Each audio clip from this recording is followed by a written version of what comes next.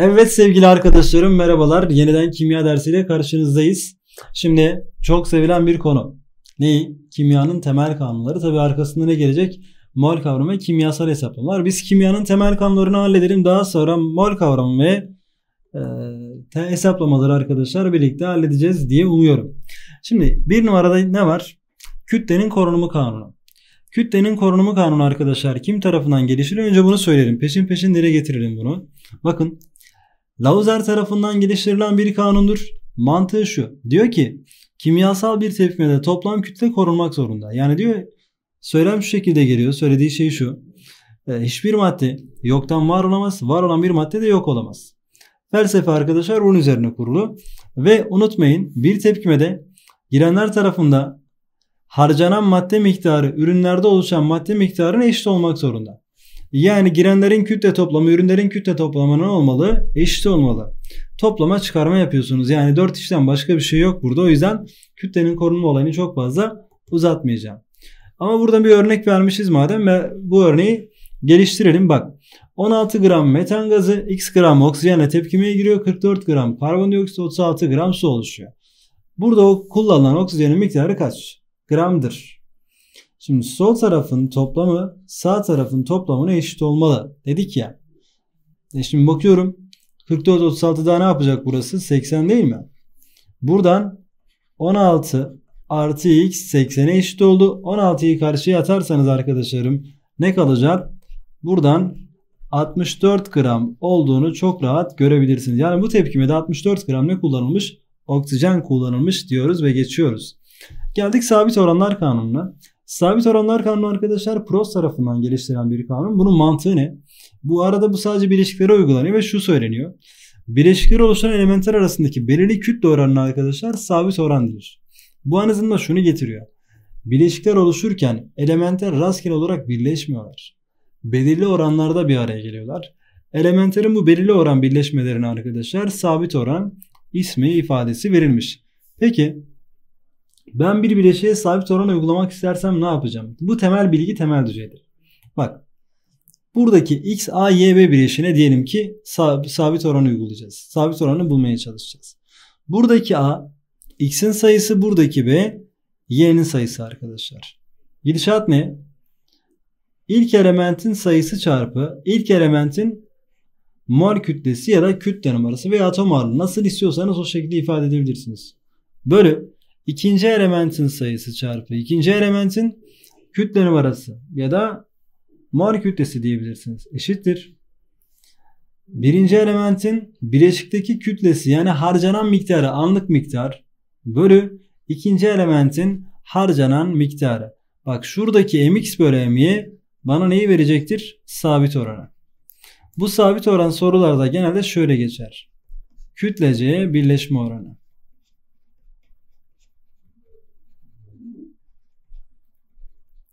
Yani görürseniz şaşırmayın.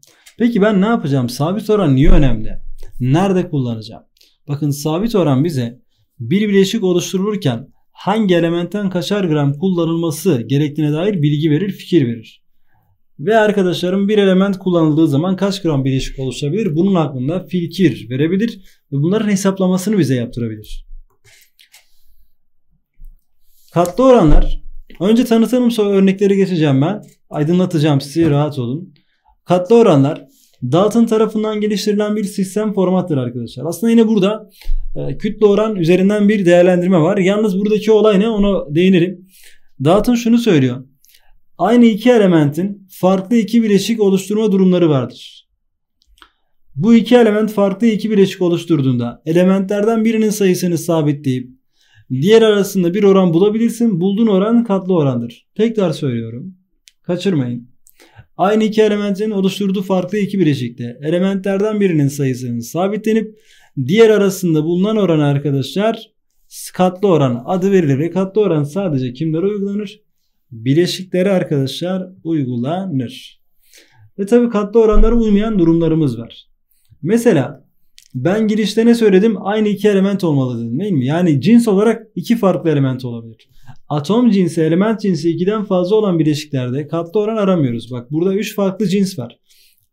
Burada hidrojen, azot ve oksijen var. Bunlarda katlı oran aramıyoruz. Buraya baktığınız zaman mantık olarak arkadaşlar şöyle gösterelim. FO bileşiği ve F2O3 bileşiği. Aynı iki element değil mi? Aynı iki element. Farklı iki bileşik mi? Farklı iki bileşik. Benim olurum sağlar o zaman. Yani benim istediğim şeyi verir bu. Ama burada element cinsleri birbirinden farklı. 3 farklı element var. Bunlarda katlı oran aramıyoruz. Ya da basit formül diye bir şey var. Basit formülle bileşiği oluşturan atomların sayıları arasında eğer bir tam sayı oranı varsa arkadaşlar bunlar birbirinin katıysa kendi aralarında sadeleşebiliyorlar. Sadeleştiği zaman burası ne kalır? NO2 mi kalır? Verilen bileşik çiftlerinin basit formülleri aynıysa bunlar arasında katlı oran aramıyoruz. Tekrar değinelim. Basit formül ne? Atom sayılarının sadeleşmesiyle kalan en sade hal arkadaşlar formül basit formüldür. Basit formüllere aynı olan moleküller arasında katlı oran aramaz. Diyelim ki aradınız katlı oran uygulamaya çalıştınız sonuç kaç çıkacak? 1. O zaman şunu bilin. Sonuç 1 çıktığı zaman oradaki bileşikler katlı oranlara uymaz. Testimizde olayı arkadaşlar görmeye çalışalım. Bak F2O3 bileşiğinin kütlece birleşme oranı kaçtır? Yani sabit oranını istiyor. Biz ne öğrendik? Birinci elementin sayısı çarpı birinci elementin kütle numarası. Bunu soruda veriyorlar arkadaşlar. Ezbere bir durum değil bu. Bölü ikinci elementin sayısı çarpı ikinci elementin kütle numarası yani atom ağırlığı kaç? 16 eşittir. Birinci elementin bileşikteki kütlesi bilmiyorum. MF diyorum bölü ikinci elementin bileşikteki kütlesi bilmiyorum. MO diyorum. Zaten amaç ne? Onu bulmak. Şöyle 56'ya 16'yı arkadaşlar 8'e sadeleştirirseniz burada 2 kalır. Burada kaç kalır? 7 kalır. Şu ikilerde gider. Oran ne gelir? 7 bölü 3 gelir. Peki bu bana neyi verir? Bu bileşik oluşurken en basit haliyle harcanan her 7 gram demire karşılık kaç gram oksijen harcanmalıymış? 3 gram oksijen harcanmalı. Yani ben 14 gram diyelim ki demir kullandım. 7'den 14'e kaç katı? 2 katı mı gidiyor? O zaman benim en az kaç gram oksijene ihtiyacım var? 6 gram oksijene ihtiyacım var. Bu mantıkla soruları çözebiliyoruz. X2'ye 4 bileşiğinin sabit oranı 5 bölü 4'tür. 28 gram Y kullanılarak kaç gram X2'ye bir 4 bileşiği elde edilebilir? Şimdi bu tarz sorularda bilginin ne üzerinden verildiğine dikkat edin arkadaşlarım. Y'nin bilgisi verildiyse ben çözümü Y üzerinden götüreceğim. Ve toplam bileşik miktarına bakacağım. Bak ilk önce sabit oranı şurada gösteriyorum. mx bölü my. Oran kaçmış? 5 bölü 4 mü? Şimdi kütlenin korunumunu düşünün. Ben 5 gram x 4 gram y harcayıp şu bileşiği oluşturursam kaç gram gelir? Düzeltiyorum şöyle. 9 gram gelmez mi? 5 4 daha. 9 gram ne oluşur? x2 y4 bileşiği oluşur. Şimdi bilgi y üzerinden geldiği için y parçasına bakıyorum. 9 gram x2'ye 4 bileşinde kaç gram y var arkadaşlarım? 4 gram y var. Şimdi 4 gramla bileşiğin 9 gramını oluşturabiliyorsam acaba 28 gram ile bileşiğin kaç gramını oluşturabilirim? Kaç katı? 7 katı değil mi? O zaman bu kaç katı olmalı arkadaşlarım? 7 katı olmalı. Yani ne olacak burası? 63 gram olmuş olacak diyoruz. X'e 2 bileşinin kütleci %42x'tir diyor. Bak bütünlük 100 gram. Bunun 40 gram eğer x ise geriye kalan 60 gram arkadaşlarım y'dir. Buna göre x, y 2 bileşiğinden 50 gram elde etmek için x, kaçar gram kullanılmalıdır falandır filandır diyor. E şimdi benim burada ne yapmam lazım? Önce sabit oranı bulmam lazım. Ne söylemiştik? Sabit oran bir bileşik oluşurken hangi elementten kaçar gram kullanılması gerektiğine dair bize fikir verir. O yüzden sabit orana ihtiyacım var. Sabit oran bileşikteki atomların kütle oranıdır. Bu bileşikte 40 gram X varmış. 60 gram arkadaşlar Y varmış. Sadeleştirme yaparsanız 20 ile 2'ye 3 kalmaz mı? E bunu gördüm. 2 gram X'ten 3 gram Y'den harcarsam toplam bileşiğim kaç gram olur? 5 gram. O zaman diyorum ki 5 gram X, Y2 bileşiğinde X'ten kaç var? 2 gram var. Y'den kaç var arkadaşlarım? 3 gram var. Benden bileşiği kaç katına çıkarmamı istiyor? 10 katına çıkarmamı istiyor. Oran orantı kurmayacak mıyım? 5'te 2 ise 50'de kaç derseniz en az 10 katı artması gerektiği için arkadaşlarım burası ne olacak?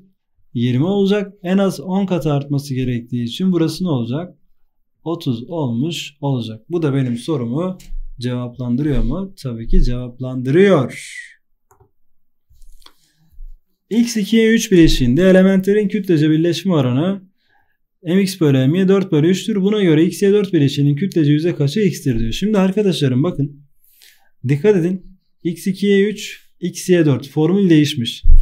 Formül değişirse bunu not almayı unutmayın. Sabit oran genelde değişir.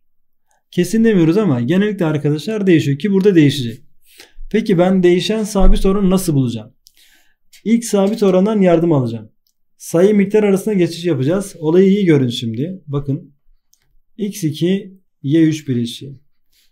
Sabit oran ne bu arkadaşın? mx bölü m'y'si 4 bölü 3'müş. Geldim x'ye 4'e. Bunun sabit oranını bilmiyorum. mx bölü my eşittir diyorum. Oran çizgisini çektim bak. Miktar ve sayı arasında arkadaşlar geçiş yapacağız. Burada 2 tane x kaç gram yapmış? 4 gram yapmış. 2 tanesi 4 gram yapıyorsa bir tanesi kaç gram yapar arkadaşlarım? 2 gram yapar. Kalemimiz mi gitti? Şöyle 2 gramı yazdım. Şöyle bakıyorum. Şurası 3 bu arada. 3 taneye kaç gram yapmış? 3 gram yapmış. Yani tanesi 1 gram. O zaman 4 tanesi kaç gram yapacak? 4 gram. Bu da 2 bölü 4'ten ne yapar? 1 bölü 2 yapar diyebiliriz. Şimdi x, y 4'ün sabit oranını buldum mu? Buldum. Yüzde x'i soruyor bana. Onu bul diyor. Onu bulalım. Bak.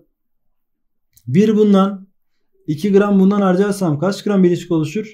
3 gram bileşik oluşur. Bu 3 gram bileşikte x kaç gram? 1 gram.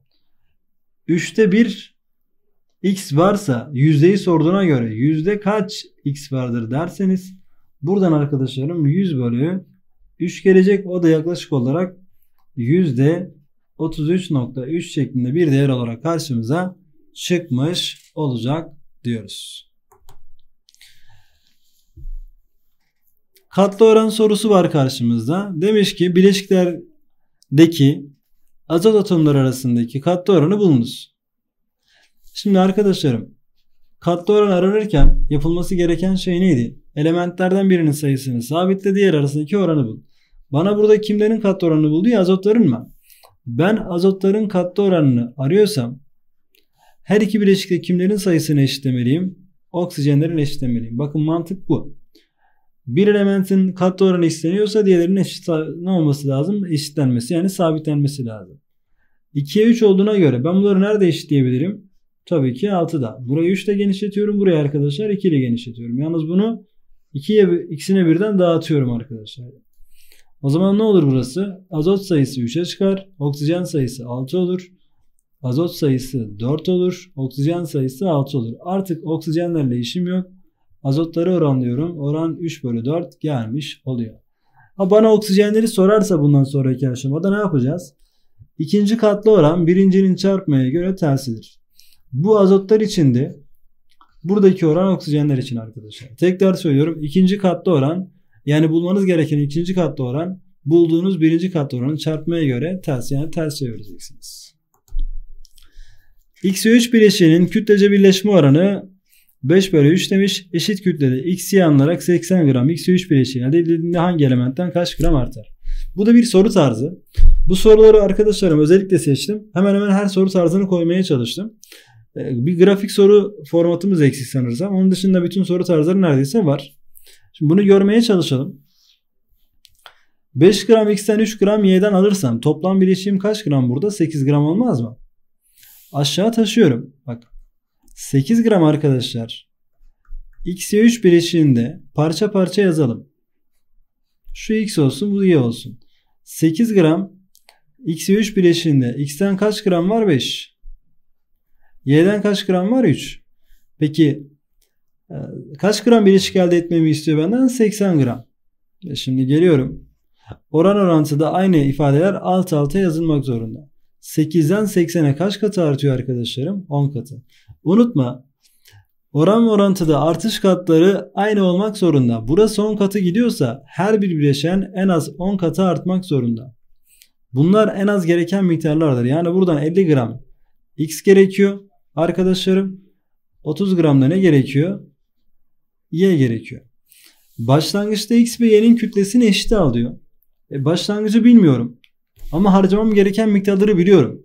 50 gram X'e ihtiyacım var 30 gram niye ihtiyacım var? E başlangıçları eşit alacaksam ben kime göre alacağım? Büyüye göre alacağım. Yani başlangıçta şurada arkadaşlarım şöyle rengi değiştirelim. Başlangıçta burada X'in kütlesini kaç alacağım ben? 50 alacağım.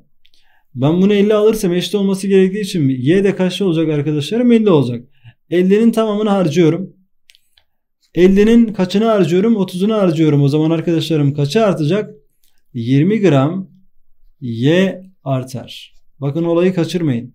Başlangıçları eşit olduğu için büyüye göre aldım. 50'şer gram aldım. Bunun tamamı tükendi. Bunun 30'unu kullandım. 20'si arttı. Yani 20 gram Y artar diyebiliriz. X, Y elementlerden oluşan iki bileşikte bileşikteki Y yüzdeleri aşağıdaki gibidir demiş. Buna göre aynı miktar Y ile birleşen X kütlesinin birinci bileşikteki he burada arkadaşlar soru eksik kalmış. Bunu şöyle toparlayalım. Buna göre aynı miktar Y ile birleşen e, birinci bileşikteki Şöyle devam ediyorum. X kütlesinin ikinci bileşikteki X kütlesine oranı kaçtır diyor. E şimdi arkadaşlarım %30 Y ise o zaman şuraya X diyelim %70'i ne olacak bunun? X olacak. %20 Y ise %80'i ne olacak arkadaşlarım? X olacak. Birinci bileşiğin formatı, ikinci bileşiğin formatı bu şekilde karşınıza gelecek. Aynı miktar Y diyor ya. Aynı miktar Y diyorsa ben kimlerin miktarını eşitlemeliyim? Y'lerin. Burası önemli. Y'lerin miktarını eşitlemek için şöyle sıfırları hepsini götürebilirsiniz bu arada. Ne yapacağım? Yukarıyı 2 ile genişleteceğim. Aşağıya 3 ile genişleteceğim. Buralar 6 olacak. Bunlarla işim kalmayacak. 2 çarpı 7 buradan 14 gelecek. 3 çarpı 8 buradan kaç gelecek? 24 gelecek. X'lerin oranını istiyor benden. X'lerin oranı arkadaşlar 14 bölü 24 gelmiş olacak. 2'ye bölersem 7. 2'ye bölersem 12 olarak karşıma gelmiş olacak. Aşağıda verilen bileşik çiftler arasında katlı oranı bulunuz. Burada e, atomların cinsi belirtilmemiş. Yani hangi atomların katlı oranını bulacağınız belirtilmediyse fark etmiyor. İlkini bulabilirsiniz ve ikinci bulabilirsiniz. Önemi yok.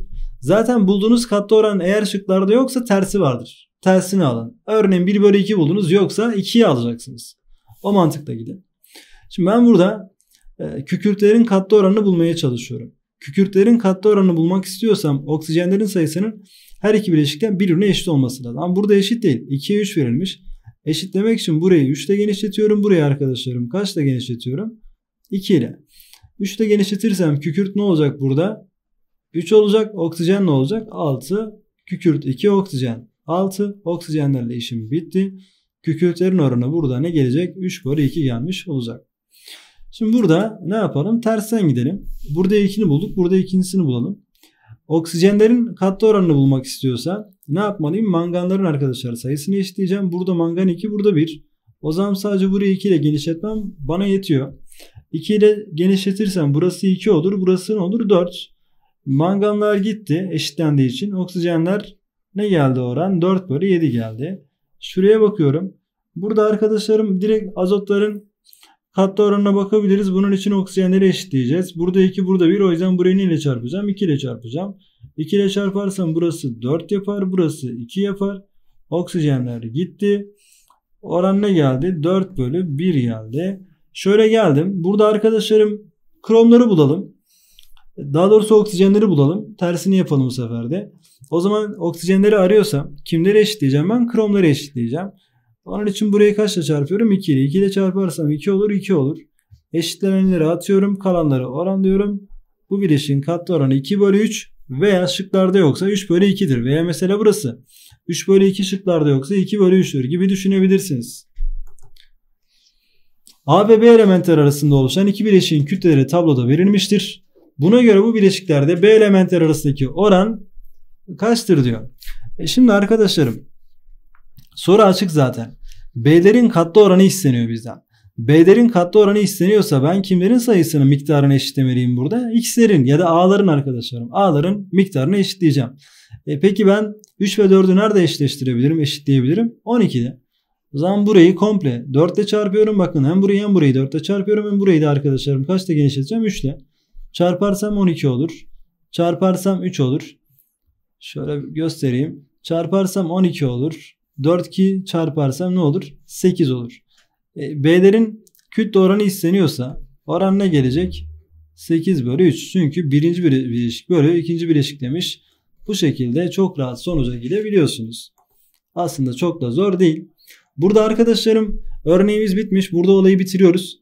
Yani bence e, soru tarzlarını olabildiğince göstermeye çalıştım. Az da soru çözmedik açıkçası yani. O yüzden lütfen üstüne pratik e, yaparak geliştirmeye çalışın. Takıldığınız sorun yaşadığınız noktaları da belirtin. Mesela bir arkadaşımız derslerin biraz daha hareket geçmesini istemiş herhalde. Yani burada biraz e, ona dikkat etmeye çalışacağım ben. Çünkü gün sonu falan oluyor. Biraz yorgunluk da oluyor.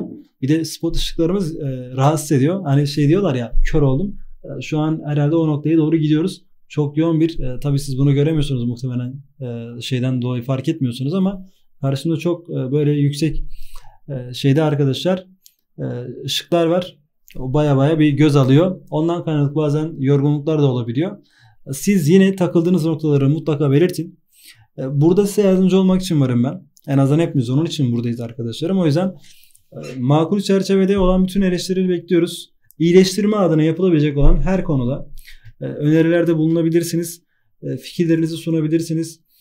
Veya çok sorun yaşadığınız konular varsa bu ortak bir ses oluşturursa örneğin bir arkadaşımız dedi ki ben mol kavramında mol hacim geçişlerini anlamıyorum. Eğer orada biraz daha sayı fazla olursa aynı e, sorunu dile getiren kişi sayısı fazla olursa o zaman sadece konuyu daraltıp o noktayla ilgili küçük çekimler yapabiliriz. Ya, muhtemelen bunlar daha faydalı olur diye düşünüyorum. Bu tarz e, şeyleri açığız. Bekliyoruz arkadaşlar sizlerden. Tabii sizin de çalışmanızı istiyoruz.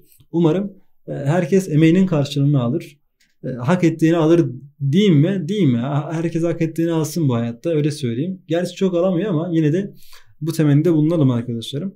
E, her şey sizin için umarım güzel olur. Kendinize iyi bakın. Yeniden görüşmek üzere. E, hoşça kalın, sevgiyle kalın, iyi çalışmalar diliyorum.